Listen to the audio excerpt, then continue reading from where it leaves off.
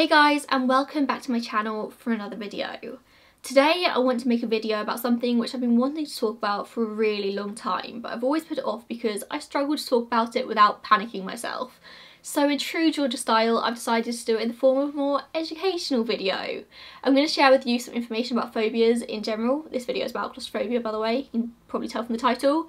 I'm going to talk to you about why people suffer with claustrophobia and phobias. I'm going to look at the psychology behind it and then if I'm feeling brave I'm going to try and share my own experience with claustrophobia. I'm quite open on my channel about certain things in my life or certain medical things in my life I suppose. You know I speak openly about my experience with scoliosis and spinal fusions and anxiety. I feel like by talking about my experience I can help other people. I'm quite positive about my health and life in general. I know how to deal with these things. I feel like I can put something into the void that isn't just despair over mental and physical health because that's all the internet is sometimes. But my claustrophobia is something I really struggle to talk about because I'm still at a point in my life where I can't really be positive about it. I can't put a positive spin on it. It sucks. Literally just sucks. I have no pearls of wisdom to share but I hope by talking about my story maybe I can find other people who are the same as me because most people just don't really get it and I'm a bit bored of being the only person I know who feels this way. And this video is kindly sponsored by Skillshare. As somebody who absolutely loves learning and education, I think Skillshare is one of the best things on the internet. It's an online learning community with so many different lessons to explore. There's something for everyone, no matter what you're interested in learning or creating. It empowers you to achieve your goals. But what I want to recommend for you today on Skillshare is something a little bit different. Seeing as this video is going to be talking about mental health and phobias and generally things that make me all around panicky and uncomfortable, I want to recommend you something on Skillshare that can help you with anxiety and panic when you're in that headspace. Coping Skills and Self-Care for Mental Health by Emma McAdam, who is a licensed marriage and family therapist, is incredible.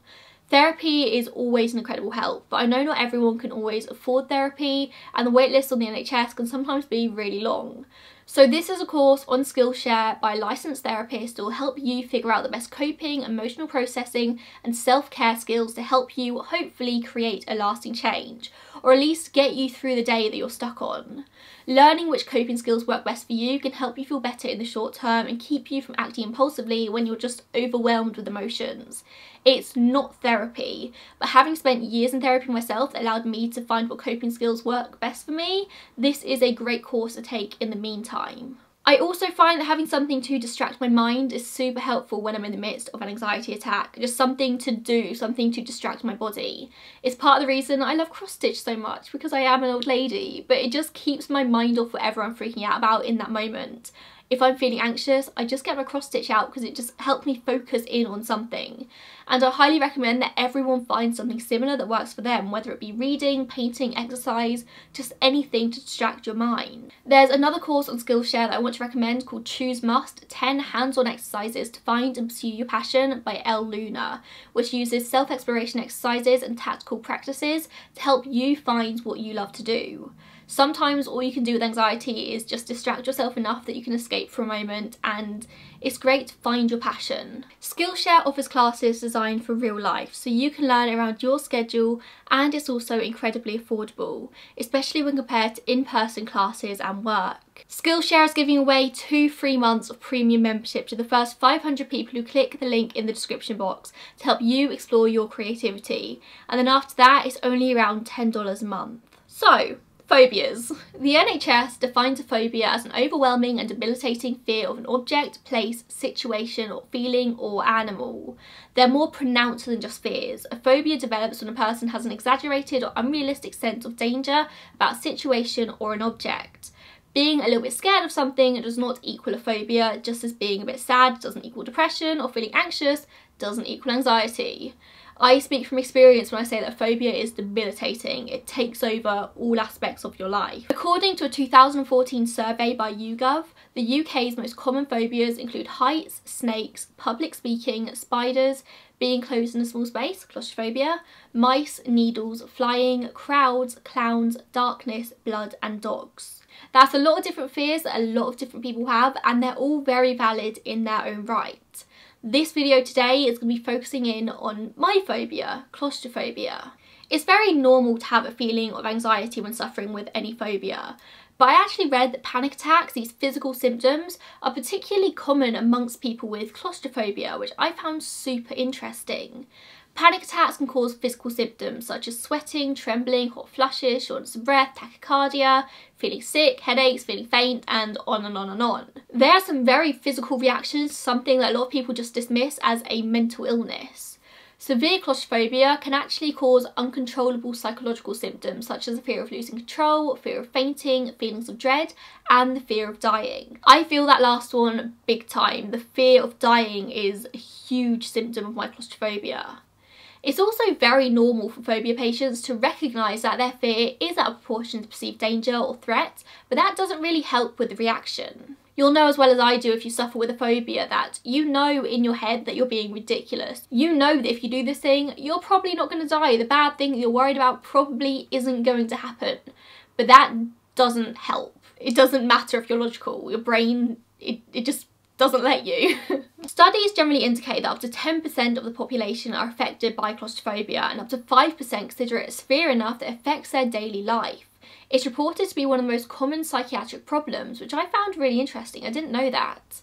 The word claustrophobia comes from the Greek word phobos, which means fear, and the Latin word claustrum, meaning a closed-in space. But the big question is, why do people have phobias? And we don't know for sure. There's not one particular factor that can cause somebody to have a phobia.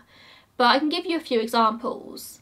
Particular instance or trauma can cause a phobia. For example, if a child is bitten by a dog, that could lead to a lifelong fear of dogs, or somebody who experiences a lot of turbulence on a flight at a young age can go on to develop a fear of flying. Phobias can also be learned responses, picked up from the behaviour of family members, usually parents. It's not uncommon for siblings or parents and children to have exactly the same phobias or it can be a panic response. Once you've had a panic attack in a certain situation, you can develop intense anxiety about putting yourself in that situation again. For example, if you have a panic attack in a lift, even if it's totally unrelated to the fact that you're in a lift, you will subconsciously connect lifts with that feeling of panic in the future, and you'll never want to go in one again. It can even be genetic. Research suggests that some people are genetically more vulnerable to developing phobias than others due to an imbalance of neurotransmitters in the brain. I don't know if any of these are the cause of my phobia. I'm inclined to believe that it may just be genetics and generally poor mental health as I was diagnosed with generalised anxiety disorder when I was just three years old. My brain has never quite worked in the same way that others do. It's proven that avoiding the situation in which you feel phobic can cause your fear to worsen over time. But if you suffer with a phobia, you'll know as well as I do that it's really not just as simple as facing your fears. I swear to God, if one more person just says to me, just face your fears, I will actually punch them. For me, it's a complete flight reaction. Everything in my body tells me that if I put myself in a closed space, I am going to die. And that's not something you just fight off easily. It's human nature to keep yourself alive.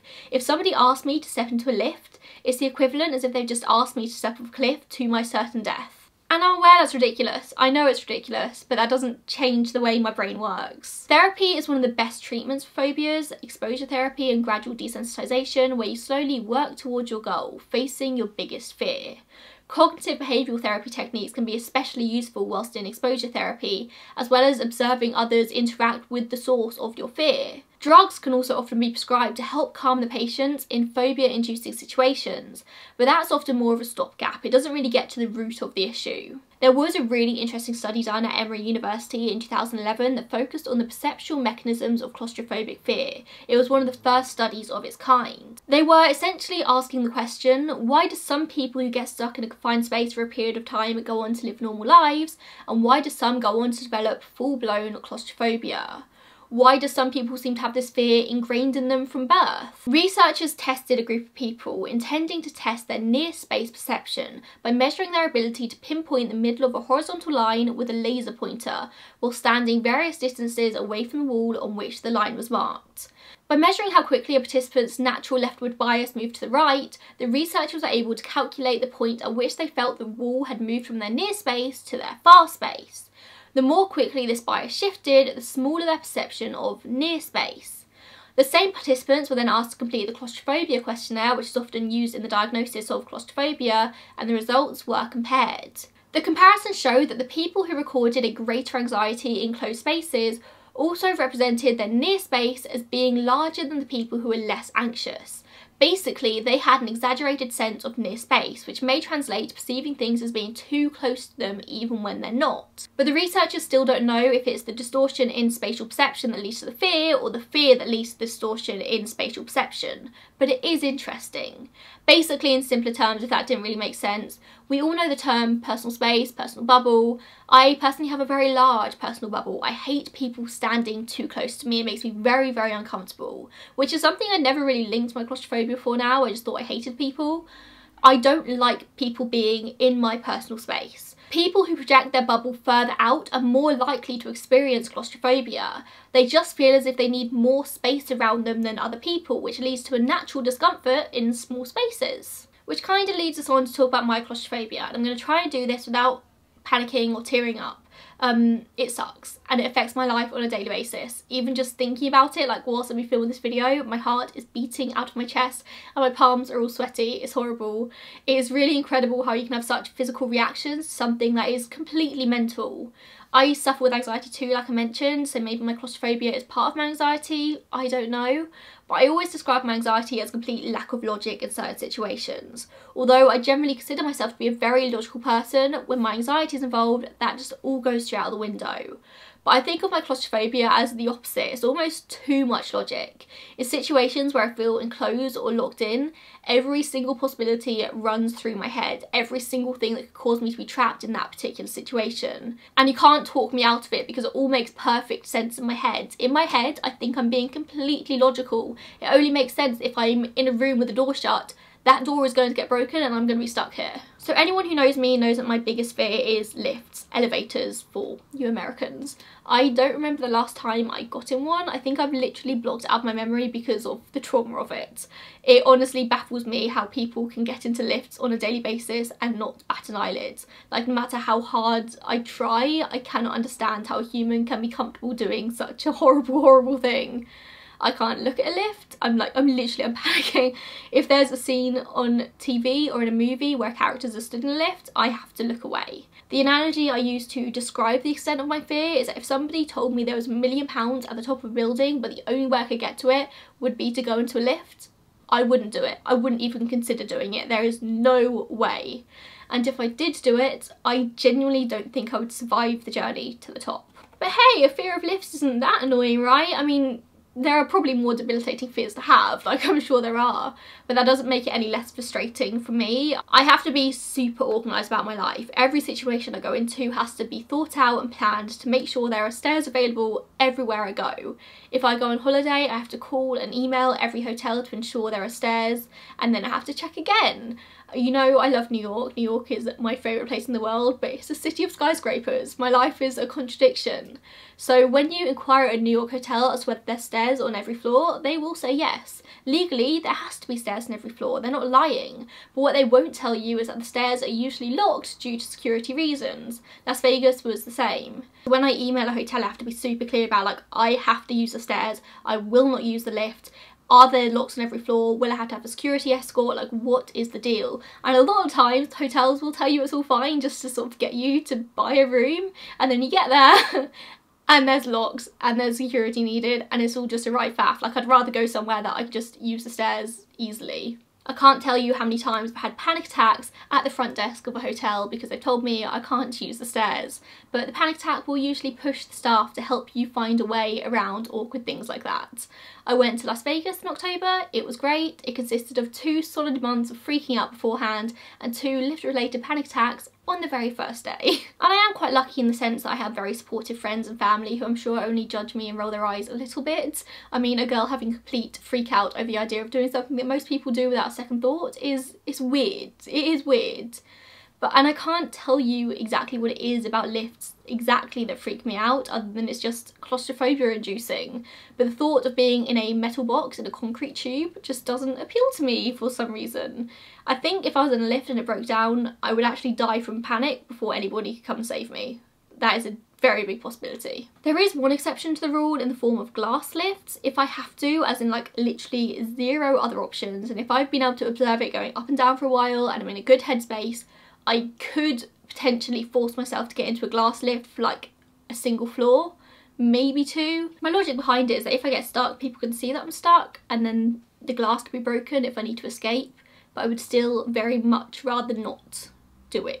I don't really have an origin story for my claustrophobia. I've never been trapped anywhere as far as I'm aware. My mum says that even as a toddler I used to have a complete freak out if she tried to get me into a lift so I think it's just an ingrained part of my personality, part of my anxiety. I mean like even as a child I remember going to birthday parties at the local leisure centre and like the meal, like the birthday meal after would be held in one of the squash courts. And I just remember how uncomfortable I'd feel every time they shut the door to that bloody squash court. And it was this huge room with these tall ceilings, there were no windows and the door would jam a little bit every time they tried to open it. And it still makes me feel weird if I think about it now, I really hated it. And everyone had their birthday parties in this bloody leisure centre. Um, still to this day rooms with no windows are a big no-no. I don't like going into a room if it doesn't have a window. Other things that bother me include toilet stalls. You know it's like this running joke online about America and their toilet stalls with these massive gaps in the door frame. They are my heaven. Maybe when I'm on holiday in America I do have to worry about the whole lift situation, but the whole toilet situation is heavenly. A toilet stall door that's far enough off the ground for me to crawl under if the lock breaks is my actual stuff of dreams. I don't even care if people can see me pee, which is a sentence I never thought I'd say on YouTube. It's a whole other situation in the UK. I avoid using public toilets as much as I possibly can. Toilets with those huge floor to ceiling doors are a big no-no, especially if they have those lock mechanisms that are like on the inside of the door, if that makes sense. There is not a chance in hell I'm locking one of those. If I'm really desperate, I will put my bag against the door to hold it shut and hope nobody comes in. I've been walked in on on the toilet more times than I can count, but I'd prefer that than have to lock the door. I much prefer the slidey locks are on the outside of doors, if that makes sense. The logic is that if it jams, I could probably force open. For a bit of time, I did actually carry a mini screwdriver around in my bag as a just in case kind of thing. And now I'm talking about this, I'm wondering why I stopped carrying this mini screwdriver with me. Like, you know the ones you get in like Christmas crackers? I'm going to start carrying that again with me because that is a genius idea. If I have a friend with me, they hold the door. You know how like mothers hold their kids like toilet doors? My friends still do that to me because I'm 25 years old, but I'm a child. The tube, any kind of underground train system, absolutely not okay. I could do them for a few years. My grandparents used to always take me to London and we do the tube, so I kind of grew up going on the tube. Um, I guess that's a form of exposure therapy. But then about five years ago, I was on a tube that stopped in the tunnel and now never again. I will not go on one ever again. You would think it's annoying, but luckily the London bus system is amazing and wildly underrated. London Tube is actually my idea of hell. A metal tube underground stuffed with sweaty people. No, no, no. Normal trains I'm okay with as long as they're not too busy. As soon as it gets to the point of people having to like stand up because there are no seats left on the train, that's when I begin to get a bit sweaty. I can't tell you the amount of times I've gone to get on a train, I've like deemed it too busy, so I've just had to wait for the next one, the next one's been too busy, so I've just got to keep waiting until eventually there's a train that's okay for me to get on. In a weird twist of events, I am absolutely fine with planes. It doesn't really make much sense to me. I can't explain why I'm okay on planes, but I'm not going to question it too much. I just accept it for what it is. But plane toilets, I will not go in a plane toilet. Or I will, but I won't lock it. Before my operation I had on my spine, that's a whole other series of videos, I had to have a lot of tests including an MRI scan and now we made it incredibly clear from the get-go that there would be no way in hell that they would get me into an MRI machine and luckily my surgery was at Nuffield Hospital in Oxford which is one of the best in the country and they have open MRI machines which was just so lucky. However, they sound great as a concept but it was still very incredibly bad hey, here's a very claustrophobic person having to have an open MRI scan because they can't go into a tube. But hey, let's still secure a metal cage over her body and strap down her neck so she can't move. Great idea. Well done, hospital.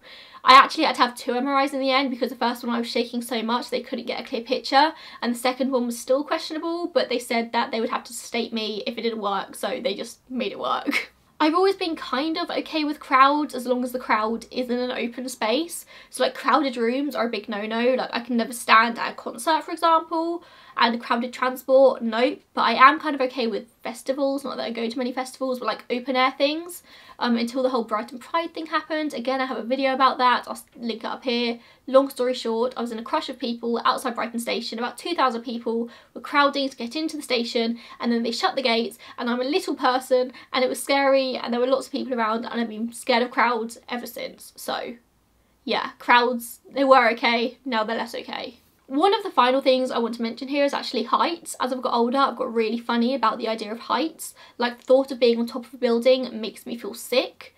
But I think it's inadvertently related to the idea that to get on top of a building, I'd have to go and lift. So I don't think it's so much height, I think it's thought of what I'd have to go through to get to the top, if that makes sense. And roller coasters, sometimes I can do roller coasters, sometimes I can't do roller coasters. You know, they have like the strap around here. I've got to like really analyse the whole like strap system and decide if I like feel free enough. Um, if it's like too much, I will not go on said roller coaster. Again, like I know it's ridiculous and I know my logic wouldn't make sense to anybody else, but it just is what it is. Like my friends don't get why I'm okay with that roller coaster, but why am I not okay with that roller coaster? Like Swarm at Thorpe Park Absolutely not. Nemesis at Thorpe Park, I will do. I don't know why, but I'm just okay with Nemesis and I'm not okay with Swarm. I don't know how it works. Something's happening in here. I don't understand either. I'm very aware that this video probably hasn't made much sense and it's been very bitty, I've been jumping all over the place, but that's because I, if I dwell on something for too long, I can feel my heart get all funny, so I'm just gonna like move on, talk about the next thing.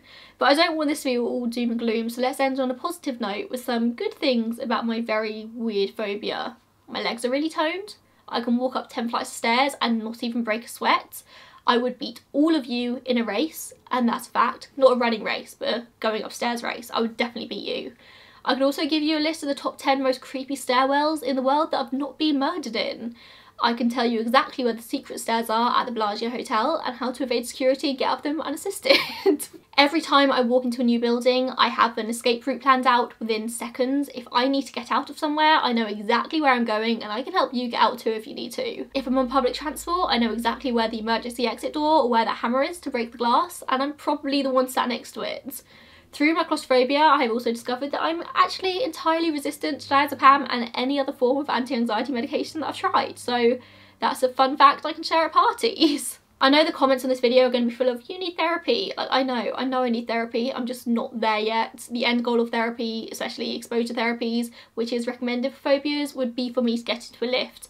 And I'm not there yet. I don't want to get into a lift. I like my life not being in lifts. I hate my phobia, it completely controls my life, but I'm also terrified of life without it. I don't want to get into a lift, I would honestly rather die at this point. Uplifting, right? Ha, that's a pun, uplifting. If you have any phobias, then please let me know in the comments down below. Make me feel like less of a freak, especially if you have claustrophobia. What are your like claustrophobic triggers? Tell me. Or have you ever gotten over a phobia? Like, how did you do it? Probably therapy, right? I'm not going to therapy yet. Tell me soothing things. I hate myself just as much as all of you hate me, I'm sure. Thank you so much for watching this video. Thank you to Skillshare for sponsoring this video. And I will see you in the next one. Tell me soothing things about phobias. Go for it. Bye guys.